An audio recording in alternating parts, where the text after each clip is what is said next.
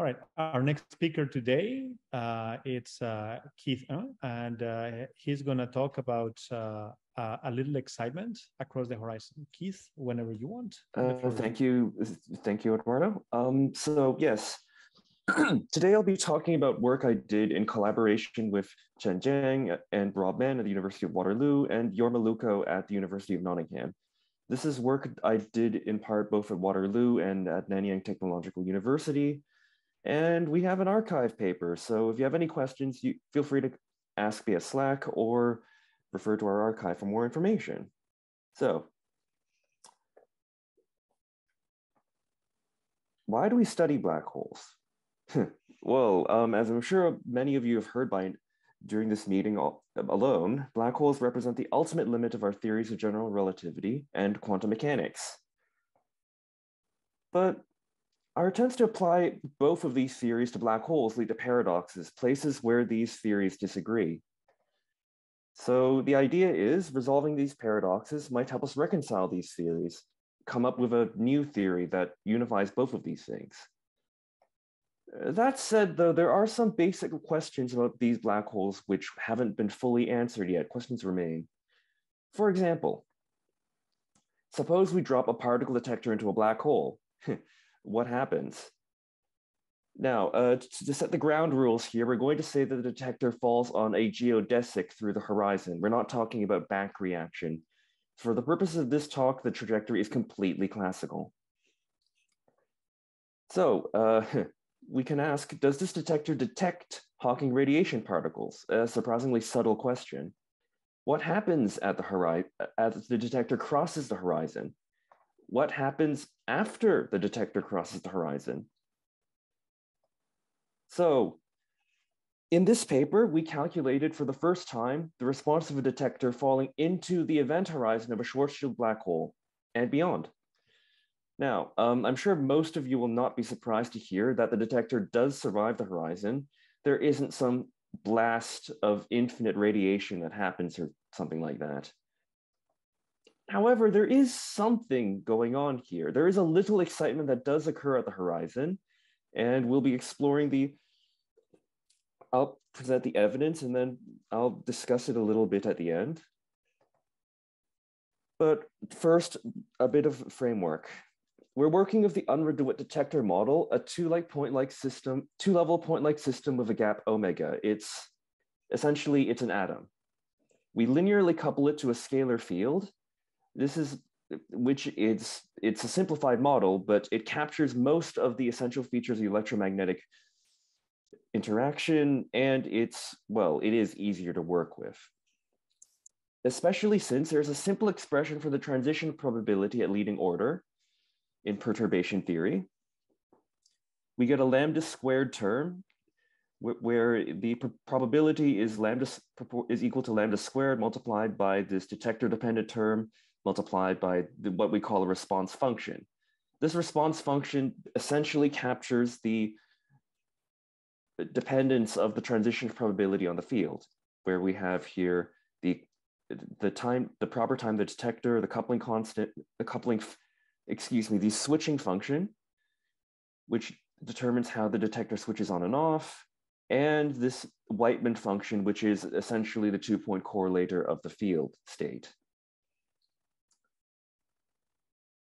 As for our background metric, we're working with the Schwarzschild black hole, and its time independent, that is, its killing metric, is shown here. This is the metric that you might have seen quite, quite a bit in undergrad. The met and as I'm sure a lot of you have heard before, the metric the, there is a singularity in the metric at 2m, but it, it really is only a coordinate singularity. Even though this term goes to, oh dear, even though this term goes to infinity and this term goes to zero, and I, I really hope I got that the right way around, there is a way to go around this using singularity, using the Kruskal coordinates. The space-time can be extended beyond the event horizon. So we do that. Using the tortoise coordinate r star as shown up here, we can set we can establish the Kruskal coordinates and if you plot out the conformal diagram, you end up this pretty diagram that again, many of you have probably seen before. we have our usual universe in the exterior here, we have the black hole in the interior here, and we have these other two components that I will not be speaking so much about today, but uh, well, they're, they're not in our cause, they're not really in our causal diamond, so we'll, we'll not talk about them very much today. As for this classical trajectory I mentioned, we drop the detector at from rest at infinity. So the Kruskal coordinates with respect to the proper time of the detector to behave like so, or rather with respect to this, this parameter z, where z is equal to uh, the switching, the proper time of the detector over the horizon crossing time to the one third, and tau is the detector proper time moving in the positive direction from negative infinity to zero, and the horizon crossing times minus 4m over 3. so uh, lastly, a, a, small technical detail, but an important one, we have the uh, switching function as shown here. We use a, a cosine 4 switching function. It's, it has a couple benefits. It's sufficiently smooth to avoid excessive switching noise, we hope. And it also is compactly supported because we don't want to we don't want to deal with what happens at the singularity. We don't know what happens at the singularity, so our detector should damn well be done detecting by then. Okay, so there are many more details I could spend an entire hour talking about. How we calculated the Wightman function by summing over mode solutions of the wave equation, harder than it sounds. How we extended the Wightman past to the horizon by analytically extending these mode solutions using Kruskal coordinates how we rearrange the response function integrals into a single time integral to calculate the response even more efficiently. But I don't have an hour, so instead I will simply have to refer you to the arXiv, or possibly Slack if, if, you have a quick question. we have an arXiv, it's great. anyway, graphs, I have graphs. Behold the detector response with respect to the mean position for three field states. So what we've done here is we take the switching function I showed before and we vary the position of, we, we basically vary the switch on, switch off time, and we plot it here with respect to the median position at which the switching happens. So what you see here is the switching function in three uh, quantum field states of the black hole, the usual, the Hartle-Hawking, the the Boulware. And the Boulware, which represents no radiation coming out of the black hole, it seems to decline a bit when you approach the black hole. And far away from the black hole, it approaches, well, the usual flat space response. Well, the flat space after the finite switching is taken into account, which is the red dotted line. The, un, the Unruh and Hartle-Hawking responses, though, they seem to have a little peak near the horizon, a small but noticeable peak. As you can see from the axis here, this is not a large effect, but it's on the order of a percent with our parameters. So uh, just to confirm though, everything does seem to be right asymptotically. The Unruh is also approaches the vacuum. The Hartle-Hawking approaches a thermal background, as we'd expect. But yeah, we have this weird the peak of the horizon here. And if we vary uh, with respect to the switching time, like maybe this is a switching noise effect, so we'll switch slower. Well, what happens? Well, what happens is, as you'd expect, the, asympt the asymptotic value of the transition rate goes down because uh, it's switching noise. It's switching noise. It goes down, right? But the we also get this relatively larger signal in near the horizon. The excitation, the strength of the excitation near the horizon goes down in absolute terms, but in relative terms, it goes up. So our signal to noise improves the slower we switch. And finally, let's, so what is this? Let's try varying the detector gap instead. So we consider both negative and positive gaps. Uh, negative gap meaning the detector starts in the excited state, of course, and it goes to ground state, whereas positive is the usual ground to excited. And what happens again is this, we see that the response, the response does actually seem to um, become stronger the larger the detector gap is in relative terms at least. Even though in absolute terms the excitation is smaller, the signal to noise does seem to improve as the gap goes larger. And I should comment here that this detector gap, if you work it out, it's on the order of 100 times the Hawking temperature. So uh, this, while this is a re clearly related to the black hole quantum state, it's not really, I'm not sure you can really call it a Hawking effect per se, Hawking temperature type effect. So to summarize, we have calculated for the first time the response of a detector falling through the event horizon of a Schwarzschild black hole. As we might have expected, there's no drama per se, but we do find a small local maximum near the event horizon. This isn't entirely unprecedented. Barbado, Barcelo, and Garay in 2011 saw an enhancement in effective temperature near the horizon. And this was discussed further with respect to the equivalence principle by Ben Benjamin et al. in 2019. But well, it, it, uh, as I said, it was an effective temperature approach. There are some questions about how this relates to our, our approach.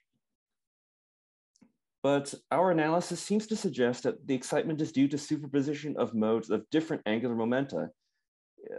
And to be more precise, we, see, we also saw that this doesn't occur in 1 plus 1D. It seems to be a uniquely 3 plus 1 effect. So but, and we'd like to conclude by noting that there are some there are some questions regarding what this quantum what these three canonical quantum states look like beyond the horizon, what the correlation look like. What does it mean? We believe this merits future study. And we'd also like to add that this approach may be applied to other candidate quantum states for black holes you may have heard about. If we have any suggestions, feel free to let us know. All right. Thank you very much, Keith. That was right in time. Perfect. All right.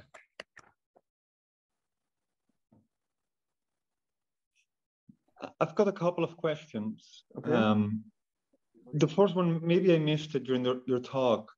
The, the peak that you see near the horizon, it does not seem to be on the horizon, it seems to be just a little bit inside the horizon. Is that mm, right? It's that's true. Yes, that is something we were wondering about ourselves. It's not perfectly centered on the horizon. Um, so it's at the. Do you know how far away from the horizon it is? At, at what, uh, well, see, the tricky part is the graph goes. The graph is plotted according to median radius r, right? But things aren't But of course, the velocity of the detector respect to, oh, where is it? Let's see if I you can... can share screen. You can share screen okay. to show the slides if you want, yeah. Damn, why does this have to be so hard? Yeah, so the peak is slightly behind the horizon. I, I'm not sure if we tried to pinpoint the exact maximum very hard because unfortunately there well, there isn't so, much, we don't fully understand the state, the nature of these quantum states beyond the horizon. Hmm. So that, that radius is, you know, it's, if you vary the different parameters like the window function and so on, that radius is always, does not vary. Like, I mean, I'm not, well, um, actually, it does seem to vary a little here. For example, if you um, this is the this is the plot where we varied the detector gap and as you can see the trough actually is a little in head of the horizon if the detector is um, negative gapped so it starts excited then it de-excites so that is something we could look into in the future i suppose uh, I mean, can, I, uh, can I venture a conjecture? I don't know if it's true that I cannot see it in the plots, but you see, I mean, there's a, is it, does it get closer to the horizon the larger the gap? or not? I guess that if the answer is no, then I won't even. Um, the the lar- like the negative larger gap. Well, there's only there's only four gaps here on this graph, but right. But the more negative it becomes, the closer it seems to be getting to the horizon, at least. And, and it seems similar for the positive. So my, my my my idea would be so what the conjecture would be. It takes a while for a detector. The internal degrees of freedom of the detector may take a while to realize where they are. Yes. Uh, they have to probe the field, and uh, the internal dynamics is the time resolution. They have to figure it out. So it may be, you know, uh, not realizing where it is, if you want, for very low gap yet. So it may be faster detectors that realize where they are and what's going on faster. That might be it. So maybe, um, I mean, again, conjecture. Mark, Yeah, I I was mean- also I was also reminded that your group did the uh, commutator black hole stuff, right? Yeah, where so that you mean the as, as Bart said, yeah, we have a so Mark, uh, uh, Robert Jonsson, Achim, and I. Uh, you mean we have uh, we've uh, done quantum communication in in Schwarzschild three plus one, and Robert Jonsson is going to talk about harvesting, which we also have results. Not an arXiv. Okay, okay. So st- stick stick around for Rob's uh, Rob's for Robert Jonsson's talk. All right, I will. So I have more questions, but I think I, I can leave, you know, time to other people. Like, Can you show the slides with the three different vacua that you tried again? I was a bit fast. I want to see something. Um, all right, sorry. There is one point I didn't emphasize as well as I should have, but um, so you can share screen, right? yes. Perfect. Uh, okay, so three vacua. Mhm. So, um, the the point I forgot to emphasize was in the Hartle-Hawking and Unruh case. Um, if you run a Bogoliubov transformation, you see that um, as you cross the event horizon, there should be a vacuum. Well, if you're if you have zero velocity at least. Yeah. So my question was also was actually uh, uh, I'm going to ask. I was going to about the Boulware case. So the the Boulware case uh, is uh, singular at the horizon, um, and uh, you have an asymptote in the response. That's super interesting. Super curious. Oh Uh, well, um, as you can see, the Boulware case, we the the curve ends here. That's oh, because you that's don't. where. Okay. Yeah, my bad. I was Sorry, actually. I- yeah. No, no, no. It was my interpretation. So it does blow blow up, right, uh, at the horizon. Well, I mean, we didn't attempt to calculate that, but Right. as you can see, as you approach the horizon, the response isn't blowing up; it's actually Oh, decreasing. it's not. It's actually going down. Yes. Should then it blow up though? What do you think your intuition would be like? Uh, the intuition would be. I mean, Mark has a question. I don't know if this is it about what we're talking about, Mark. um, yes, ish. Then go ahead. Just please. Well, no, I mean, I was curious also about the Boulware. I mean, certainly phi squared, uh, even phi Well- squared renormalized would blow up. Of course, that's not the That's same. right. I would expect But the detector to read that divergence in the two-point function. Well, um, mean, if I'm according to according to there was this paper by Jorma that this entire project was inspired by uh, regarding the one plus one event uh, firewall. It turns out that um, even if there's an infinity, sometimes if your detector is set up right, your detector can still get a finite response as it passes through. We actually Yeah, did expect something. We might expect something similar to happen here, but of course we don't have a, full, a valid field extension for the boulware, so we don't know. But, but even even so, if you cross a Rindler firewall, there's a little kick. Uh, even when you cross, this this going down with uh, close to the horizon is surprising, definitely. Well, but we haven't actually touched the horizon yet, of course. Fair enough. Oh, I sorry, I, I did so yeah, um Hartle Hawking, Unruh, there's a vacuum there's a vacuum near the horizon, but if you're at finite velocity, the, the papers I mentioned shows there is a small amount of radiation you see. So Ma- Mark, uh, you still Yeah. right? No, I mean, I have little questions about this. I mean, now that I just look at the plots closely, it looks a little kinky just before, certainly the orange line, just before the, the peak. It doesn't, Uh where? Just just uh, just outside the horizon. Yeah, just around there. It looks a little kinky, but anyway. Well, we had limited like for technical reasons we couldn't produce we we had to choose how many points we picked. So th- there could it could just be a lack of sampling data there. Yeah so my question was was so I, was wondering about the L sum that you were alluding to, alluding to. Yes. Um, what what sort of L, what sort of convergence do you get in the L sum? Um, I, I don't I don't think I have the details listed in the main presentation. Um, ah, here we go. Oh, nice. Well, Yeah, can I see? Well, uh, the graph is a bit of a mess, but well, they the- don't the- look like uh, they're converging really fast, no?